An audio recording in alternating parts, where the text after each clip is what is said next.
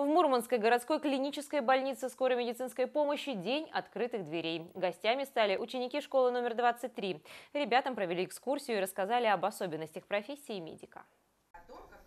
Обычный школьный день для учеников средней общеобразовательной школы номер 23 запомнится экскурсией в Мурманскую городскую клиническую больницу скорой медицинской помощи.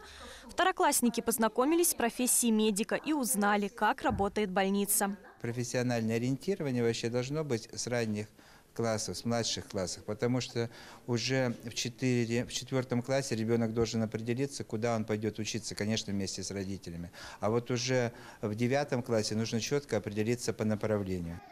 Самым ярким впечатлением для детей стала экскурсия на станцию скорой помощи. Школьникам разрешили не просто посмотреть на спецтранспорт, а даже посидеть за рулем кареты скорой и обследовать ее изнутри. Мне хочется стать врачом, здесь работать, людей лечить.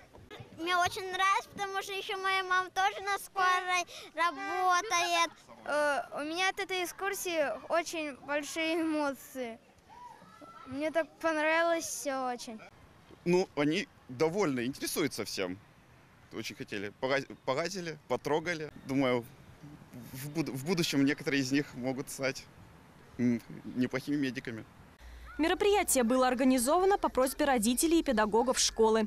Его провели в рамках партийного проекта «Единой России. Здоровое будущее». Главная цель таких занятий – мотивировать подрастающее поколение вести здоровый образ жизни. А если опыт окажется успешным, экскурсии для будущих медиков будут проходить регулярно.